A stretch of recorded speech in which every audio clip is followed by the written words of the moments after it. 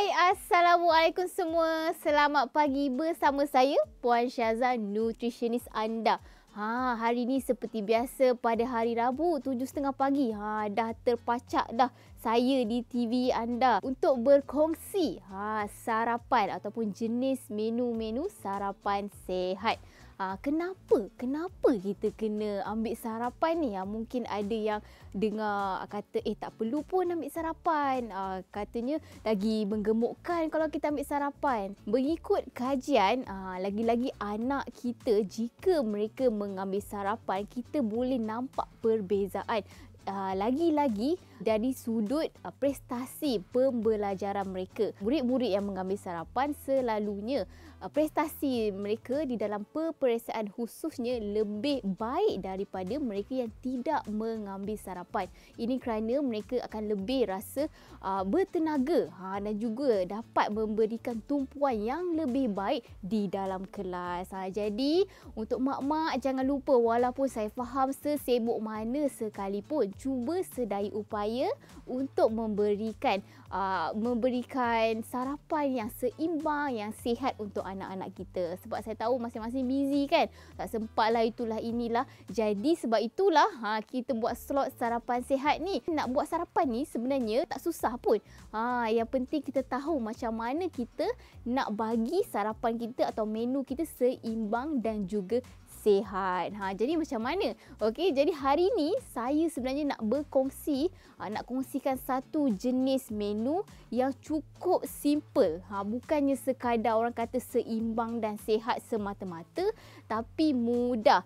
Ha, itu yang paling penting lah kan ha, nak cepat-cepat tak sempat nak uh, prepare terkejar-kejar pagi-pagi ha, jadi inilah merupakan sarapan yang yang boleh membantu ibu-ibu uh, di luar sana untuk mendapatkan idea ha, macam mana nak sediakan sarapan sihat ni. Hari ni kita nak sediakan satu jenis sarapan yang saya rasa cukup memikat anak-anak kita iaitu pai daging. Ha, bila kita sebut pasal pai, eh pai ni macam susah je kan bunyinya. Tak senang je kalau kita tahu cara nak buatnya lebih mudah dan semestinya kena kreatif lah. Okey, jadi hari ni kita akan tunjukkan macam mana kita nak sediakan pai daging bersih sihat. Ada yang tanya kat saya, macam mana kita nak pastikan sarapan kita tu seimbang? Ha, jadi untuk pastikan kita punya sarapan ni sihat dan juga seimbang, kita perlu ada tiga jenis makronutrisi ha iaitu karbohidrat, protein dan juga lemak diikuti juga dengan serat yang mengandungi pelbagai vitamin dan juga mineral. Bila kita sebut tentang makronutrisi, ha macam mana kita nak pastikan kesemua ni balance ataupun seimbang. Ha kita boleh ikut konsep apa dia? Ha kita boleh ikut konsep suku-suku separuh. Apa di suku? Suku karbohidrat, suku protein dan separuh serat. Ha, tapi kalau pai ni hmm, macam susah je kan? Tak apa kalau betul caranya kita boleh sebenarnya mengikut portion suku-suku separuh walaupun kita menggunakan atau membuat pai daging. Apa yang kita akan sediakan pada hari ini memang cukup kesemuanya. Ha, bila kita dengar pai daging nampak macam sedap. Tapi adakah ia seimbang? Ha, sebab itulah saya nak ajar, nak tunjukkan dekat puan-puan macam mana kita nak pastikan pai daging yang kita akan sediakan ni cukup sihat dan juga seimbang. Ha, jadi jangan pergi mana-mana, kita kembali selepas ini. Didik TV KPM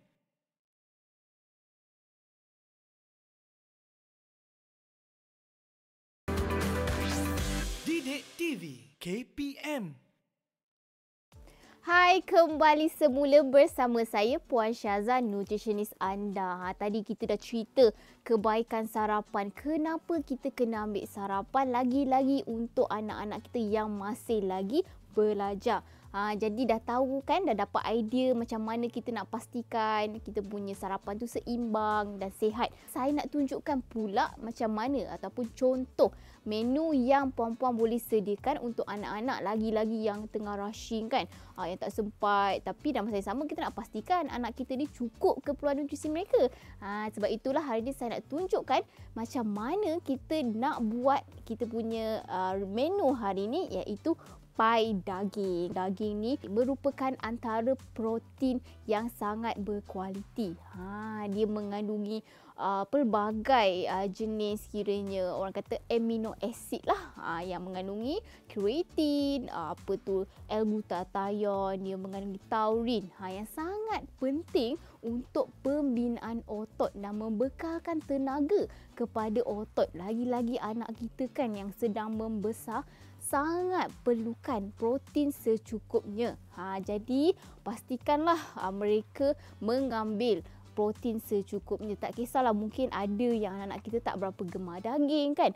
Tak ada masalah boleh tukar kepada ayam. Boleh tukar kepada telur pun boleh. Ha, tapi saya ada sebut tadi tentang L-glutathione. Mungkin saya macam eh glutathione. Ha, glutathione kan macam uh, familiar je. Ha, lagi-lagi untuk uh, wanita kan. Untuk ibu-ibu mungkin familiar glutathione ni kan. Kata boleh ejen pemutih dan sebagainya. Ha, jadi mungkin rasanya tak perlu kot kan kita untuk mengambil makanan tambahan kalau kita punya diet sendiri kita boleh dapat glutathione ni okey jadi pastikan pastikan protein yang kita ambil tu secukupnya ha macam mana kita nak tahu cukup tu banyak mana kan okey kalau untuk daging kita selalunya untuk uh, KKM recommended eh apa tu mengesyorkan kita mengambil setiap kali hidangan dalam satu tapak tangan. Tapi untuk daging selalunya kita guna saiz kotak mancis. Ha, lebih kurang macam dua kotak mancis sekali makan untuk pastikan kita punya uh, hasiat atau protein tu tidak berlebihan. Memang tak dinafikan daging sebenarnya adalah salah satu makanan yang pro keradangan. Tetapi, ha, tetapi sebenarnya dia bergantung juga dari segi penyediaan masakan tersebut. Ha, kalau selalunya lah kalau ikutkan kajian, kalau kita uh, masak daging ni orang kata overcook, terlampau masak, ini selalunya akan meningkatkan lagi toksin di dalam daging yang kita selalu panggil acrylamide. Ha, jadi sebab itu kalau boleh kan lagi-lagi kalau jenis yang selalu salai daging ke apa yang hitam-hitam tu cuba kikis buanglah untuk mengurangkan toksin ini. Okey? Kita dah ada kita punya protein tadi. Ha, kenalah ada serat-serat kita. Ha, tengok serat-serat kita ni berwarna-warni. Macam-macam warna. Kenapa? Ah, ingat tak? Ingat tak episod sebelum ni? Ha, saya pernah cerita kenapa pentingnya untuk kita pelbagaikan ha, warna dalam masakan kita. Lagi-lagi daripada sayur-sayuran dan juga buah-buahan. Ha, ini disebabkan setiap warna mewakili fitonutrien berbeza. Ha, ada nutrisi yang berbeza-beza mewakili warna-warna tersebut. Contohnya, capsicum ataupun lada benggala yang warna kuning ni lah. Okay, ini pilihan saya lah. Warna kuning selalunya dia lebih manis daripada warna hijau. Ha, lada benggala ni bila kita tengok warna kuning ni mewakili lutein, zeaxanthin, dia mewakili uh, uh, beta carotene. Ha, warna kuning, warna oranye lebih kurang lah. Okay, jadi bila warna kuning ni, ha, saya rasa ramai juga yang terlintas vitamin C. Yes, vitamin C. Okey, lada benggala ni boleh katakan antara um, sayur yang sangat tinggi dengan vitamin C. Uh, satu cawan sahaja dah cukup dah keperluan vitamin C seharian kita. Uh, tak perlu dah kita nak top up dengan apa tu suplemen tambahan dan sebagainya. Okey, sebab kita tak perlu banyak pun vitamin C dalam sehari dan lebih kurang 70 hingga 100 mg sahaja untuk sehari. Untuk tingkatkan imunisasi badan kita lagi-lagi kerana musim lah wabak ni kan lagilah kita nak kita perlu untuk tingkatkan imunisasi badan kita. Tadi saya sebut tentang lutein.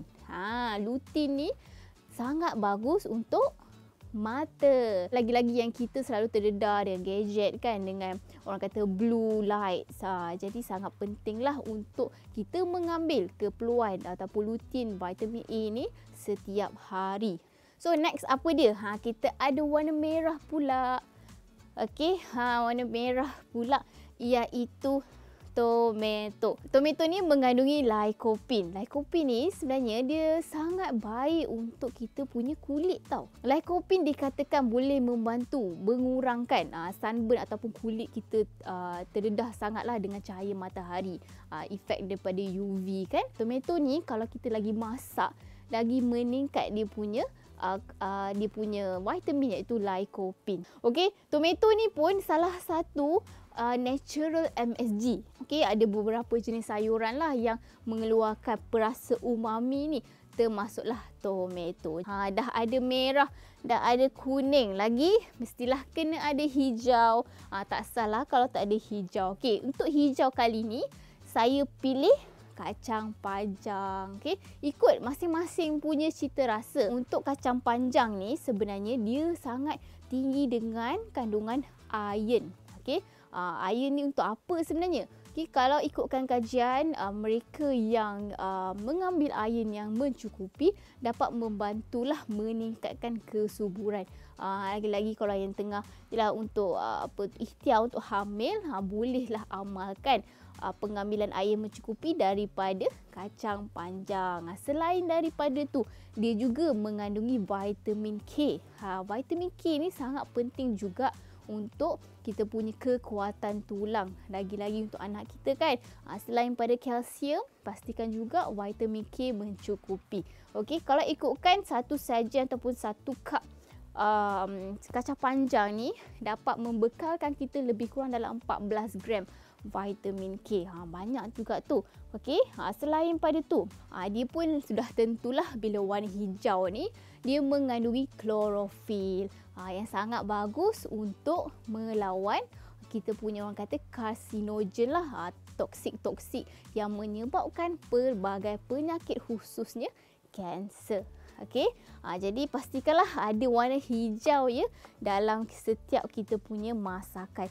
Okey, hari ni kita ada cili. Ah, tapi cili ni sebenarnya ikut masing-masing lah. Ada mungkin nak sediakan untuk anak-anak kan. Eh, macam tak sesuai je. Ikutlah masing-masing punya cita rasa. Mungkin biasa dengar tentang cili boleh membantu dalam proses menurunkan berat badan.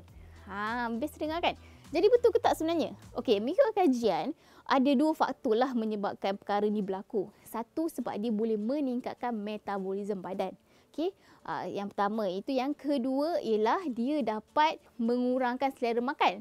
Tapi saya rasa itu hanyalah boleh di orang kata aplikasikan maybe untuk mereka yang uh, tak biasa makan cili yang rasa bila dia rasa pedas dia akan menyebabkan dia terbantuklah selera makan dia kan. Tapi saya rasa untuk rakyat Malaysia lagi berselera agaknya kan bila kita makan makanan yang pedas. Tak bolehlah bergantung kepada cili semata-mata kan. Ada bila dengar benda ni semua orang kena nak rata cili je kan. Ha, sebab nak turunkan berat badan okey? Benda tu tak berlaku lah kalau kita masih lagi mengamalkan diet yang tidak seimbang. Ha, jadi dia kena gabungkan kedua-duanya sekali okey? Ha so cili dah. Seterusnya kita ada bawang. Ha, bawang ni boleh katakan memang um, wajiblah kalau kita nak menumiskan dia memberikan perisa dan juga aroma yang cukup apa tu lengkap ha, dalam setiap masakan kita. Dari sudut uh, nutrisinya dia pun mempunyai serat ha, dan juga membantu juga untuk uh, melawan infeksi ha, yang terjadi. Dan sudah tentulah kita kena adalah kita punya uh, apa tu perasa semula jadi kita iaitu saya pilih mix herbs. Lepas tu kita kena garam, minyak sedikit untuk tumis semua bahan ni dan juga lada hitam. Okey dah sudah tentulah kena ada karbohidrat, dah ada protein, dah ada serat, dah ada lemak. So kenalah ada karbohidrat. Inilah kita punya pie, kita punya crust pie. Tapi macam mana nak buat? Ha, sebab itulah kita kena tunggu dan kembali selepas ini. Didik TV KPM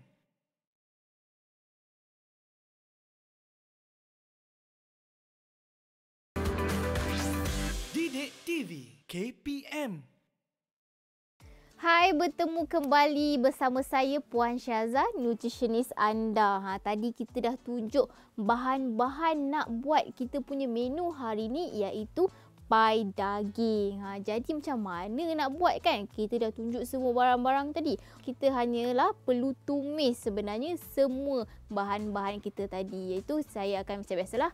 Kalau tumis saya gunakan minyak olive lah. Minyak zaitun kebiasaannya. Tapi tak semestinya tak wajib pun nak gunakan minyak zaitun. Kalau nak guna minyak lain pun pun boleh tak ada masalah. Cuma macam saya kata sebelum ni, minyak zaitun antara minyak yang paling baik lah sebab dia kaya dengan lemak tidak tepu. Tapi walaupun kita sebut dia minyak yang baik, masih perlu jaga-jaga penggunaannya. Dia masih lagi minyak, masih lagi mempunyai kalori. Okey, pertama sekali kita akan tumis dulu bawang. Ha, lepas tu kita akan tumis diikuti dengan kita punya capsicum. Ha, lepas tu kita boleh masukkan lah cili. Selalunya kalau tak awal-awal dia macam pedas sikit lah. Ha, and then kita masukkan kita punya uh, apa tu kacang panjang. Ha, dan of course kita jangan lupa pula protein kita iaitu daging hancur. Daging ni memang boleh hancurkan sendirilah. Mungkin ada yang tanya boleh tak saya gunakan daging burger? Ha, yang dah siap tu kan. Ha, tapi bukan tak boleh tapi kita tak galakkan lah sangat. Lagi baik kita ambil daging yang sebenar dan kita hancurkan sendiri. Okay? Ha, dan of course lah kena juga ada tomato. Ingat tak tomato ni kita kena masak sedikit supaya dia punya lycopene, dia punya nutrien akan lagi meningkat. Ha, dan seterusnya bahan-bahan perasa, garam, mix herbs dan juga lada hitam. Ha, so bila kita dah tumis, tumis dan tumis, jadilah macam ni. Ha, tiba-tiba je kan. Ha, okay, dah siap dah kita punya bahan tumisan tadi. Inti kepada pai kita. Okey. Ha, so jadi macam mana kita nak buat pai ni? dah kita guna roti wrap ni kan. Ha, okey, roti wrap ni mungkin ada yang tanya saya, macam mana dari segi kalori? Ha, okey. Untuk roti wrap yang satu uh, yang saiz beginilah. Ha, saiz begini, roti wrap ni kalori dia dah lebih kurang macam dua keping roti. Ha, jadi cukuplah untuk satu hidangan. Kalau untuk perempuan biasanya saya hanya advice eh, sarankan satu keping dah cukup lah. Tapi untuk lelaki bolehlah sampai dua keping. Okay? Bergantung juga dari segi dia punya BMI. Ha, keperluan kalori harian mereka. Ha, jadi macam mana kita nak jadikan ni pie ni? Ha, senang je. Kita tak perlu susah-susah nak buat pie. Ini pie versi mudah. Ha, versi apa tu nak cepat lah. Okay? Ha, so kita akan letakkan kita punya wrap tadi. Okey, ha, kita wrap tadi. Lepas tu ha, jadilah kita punya dah jadi kita punya pie. Senang je. Lepas tu kita letakkan inti kita ke dalam ni. Okey. Ha, sebab kita akan gunakan air fryer ya ha, untuk bakar lah kita punya pie ni supaya lebih rangup. Ha, dia jadi macam crispy sikit lah tekstur pie tu tadi. Ha, sebenarnya kita ada satu lagi bahan tambahan sebenarnya ha, yang memberikan rasa uh, yang agak berlemak dan juga dalam masa yang sama membekalkan kita kalsium iaitu cheese. Ha, saya gunakan di sini mozzarella cheese. Tak ada masalah kalau tak ada kat rumah mozzarella. Nak guna cheese slice tu pun boleh. Cheddar pun tak ada masalah. Sebab lebih kurang sahaja dia punya nutrisi. Ha, yang penting macam saya sebut sebelum ni ialah dari segi keperluan kalsium. Ha, kalsium sangat penting untuk uh, kekuatan tulang anak-anak kita kan lagi-lagi untuk tumbuh saraf mereka. Satu hari kita perlukan berapa? Satu hari kita perlukan dalam lebih kurang 1000 mg kalsium. Okay, jadi sangat pentinglah untuk memastikan uh, anak-anak kita membesar dengan keadaan optimum. Okey. Kira cheese ni pun uh, pun mengandungi lemak ya. Ha, lebih-lebih pun tak pasal-pasal tiba-tiba eh naik pula berat badan kan. Ha, sebab tak perasan apa tu dah berlebihan cheese dah. Okey, ada yang tanya saya, kalau kita nak turunkan berat badan boleh ke ambil cheese ni? Okey, sebenarnya boleh. Cuma kita galakkan you ambil yang uh, low fat cheese. Ha, so dia punya lemak tu berkurang sedikit lah berbanding cheese biasa. Okey, jadi ha inilah kita punya rupa pie cheese. Ha, belum masak lagi lah. Ha, tak kisah sebenarnya ada yang tanya saya, boleh ke selain pada air fryer saya nak gunakan oven ke kan? Nak gunakan microwave tak ada masalah, boleh saja. Tapi macam saya lah, um, saya memang ni suka guna air fryer. jadi memang saya akan gunakan air fryer saja. Okey, ha, jadi lepas tu kita masukkan sebab kita bukan nak masak sangat pun lah. Ha, kita hanya nak bagi kita punya pie ni lebih orang kata crusty kan, uh, crispy. Lepas tu kita punya cheese ni cair. Suhu dalam 200, uh, ah, dalam seminit dua dah cukup. Okey, jadi siaplah sudah kita punya pie daging. Ha, tengok tu dengan cheesy-nya, dengan dia punya pie tu crusty-nya. Ha, memang cukup uh, menyelerakan, cukup sedap boleh dimakan apa tu di waktu sarapan lah terutamanya kan. Ha, sebab ni salah satu menu yang seimbang dan juga dalam masa yang sama uh, mudah untuk sediakan di pada waktu pagi. Ha, jadi berapa kalori agak-agak? Anggaran kalori untuk menu ini dah lebih kurang dalam 400 kalori. Ha, cukuplah keperluan kita punya kalori pada waktu pagi untuk meneruskan ataupun memberikan tenaga. Jadi jangan lupa cuba dan tag saya Syazan Nutritionist di Facebook dan juga IG. Ha, moga-moga memberi manfaat dan memberi inspirasi kepada ibu-ibu lain di luar sana. Jumpa lagi pada minggu hadapan uh, untuk menu yang berbeza pula. Okey? Uh, dah bye. Assalamualaikum. Saya nak makan dulu. Bye.